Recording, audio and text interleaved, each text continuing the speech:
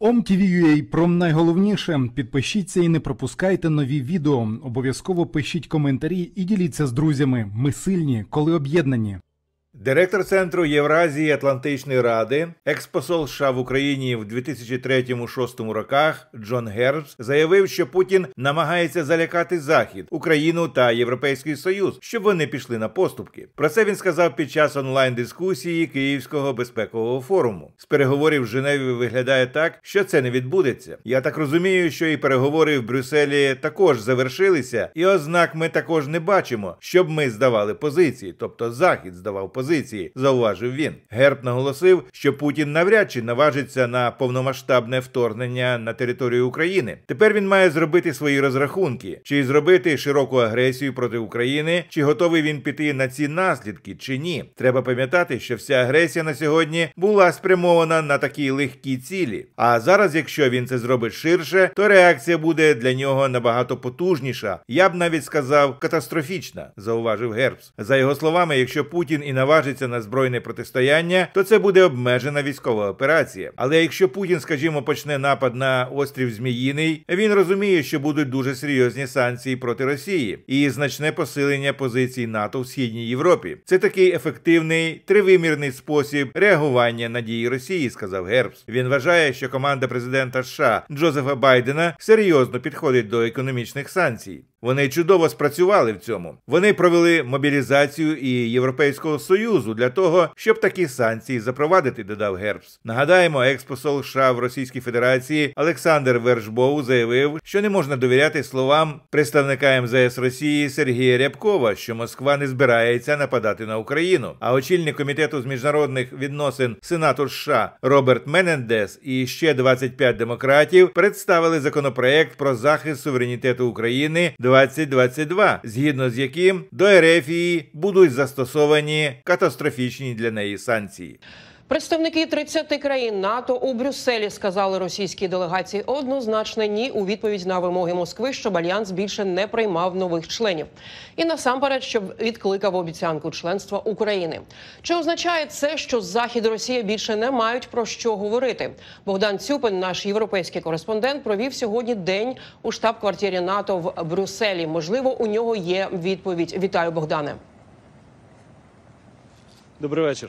Отже, Богдане, чого можна очікувати далі у відносинах НАТО Росія після такої однозначної відповіді альянсу Москві? Ну, власне, те, що сьогодні відбулося у штаб-квартирі НАТО, можна би було назвати навіть провалом. Хоча дипломати, звичайно, такого слова дуже не люблять. Але якщо згадати, що альянс відкинув основну вимогу Росії засадничу, як стверджував президент Путін і його представники, без якої неможлива домовленість, а саме про те, щоб Росії пообіцяли про нерозширення НАТО і неприйом до організації України, оскільки ця головна вимога відкинута. То можна сказати, що це фактично провал і протистояння, з якого наразі немає виходу, немає шляху вперед. Хоча НАТО і, зокрема, генеральний секретар організації Єн Столтенберг заявив, що є можливості, є теми росіянам запропонували те, про що е, Захід і, зокрема, НАТО може говорити з Росією. Про зменшення напруженості, про е, покращення безпеки, зокрема, наприклад, про скорочення ракетних озброєнь, чи взагалі про зменшення напруженості, наприклад, про регулювання Е, навчань, про що ми вже згадували. Але на загал сьогодні був просто обмін, фактично обмін претензіями. І ось одна з тих, що пролунала з вуст генерального секретаря НАТО Єнса Столтенберга сьогодні. Росія тримає війська в Грузії, в Україні, в Криму, а також у Молдові. І ті війська там перебувають без згоди урядів тих країн. Отже, вони не прошені і не бажані. Країни НАТО сьогодні закликали вивести ті війська і поважати територіальну цілісність і суверенітет Грузії, України і Молдови. Сподіваюся, що ці переговори заходу з Росією принаймні переконають Москву відвести війська і зменшити напруженість. Наскільки це вірогідно? Таке враження, що наразі це мало ймовірно. Тому що, наприклад, і журналістів тут у Брюсселі цікавило саме це питання: чи відчували делегати, е, представники західних країн тут у Брюсселі, що можливо Росія готова на деескалацію, на зменшення напруженості е, з Україною.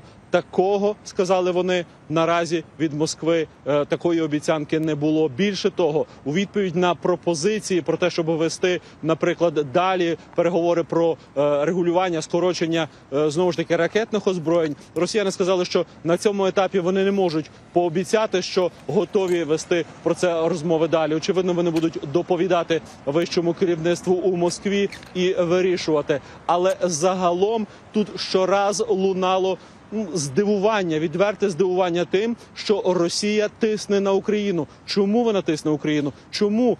Росія вважає, що НАТО, оборонний союз, загроза Росії, і більше того, чому Москві вважають, що Україна може загрожувати. Про це зокрема заявила сьогодні е, представниця Сполучених Штатів, заступниця держсекретаря Венді Шерман тут у Брюсселі. They are a powerful country. Це могутня країна, і відверто кажучи, важко зрозуміти, чому вони вважають, що їм загрожує Україна, менша держава, яка ще розвивається. Навіщо їм 100 тисяч військових на кордоні? Вони кажуть, що це не для вторгнення, а для маневрів. І сьогодні зранку повідомлено про бойові стрільби. Для чого це? Якщо не для вторгнення, то для залякування, для підривної роботи. Я не знаю, але це не допомагає дипломатичному вирішенню. Тому Росія має зробити вибір. Богдане, питання НАТО і Росії зачіпають насамперед східну Європу. Що про це говорять у тій частині континенту? Так, і зокрема гучні голоси лунають з країн Балтії і насамперед Польщі, найбільшої країни Східної Європи, е, великого сусіда е, України. Сьогодні я зокрема розмовляв з польським аналітиком е, Деніел Шеліговський з польського інституту у закордонних справах. Відповідав на мої запитання, які полягали в тому, чому які підстави е, турбуватися, зокрема полякам. І він сказав, що Якщо Захід уже погодився під фактично військовим тиском росіян а, на те, що Захід буде обговорювати е, певні питання з Росією, то зокрема у Варшаві побоюються, що е, напевне деякі е, проблеми, як каже Росія, можуть бути визнані легітимними, і куди можуть зайти тоді е, домовленості, е, думають у Варшаві. Він каже. Так, звичайно, є стурбованість у Польщі і в регіоні стосовно того, що стане результатом цих обговорень. У нас є певні побоювання, що це може закінчитися поступками від заходу, які зайдуть занадто далеко всупереч інтересам країн регіону. Я маю на увазі побоювання, що йдеться про відведення структур НАТО з регіону або зменшення американської військової присутності. Дякую, Богдане. Нагадаю, з нами на прямому зв'язку був наш європейський кореспондент Богдан Цюпин.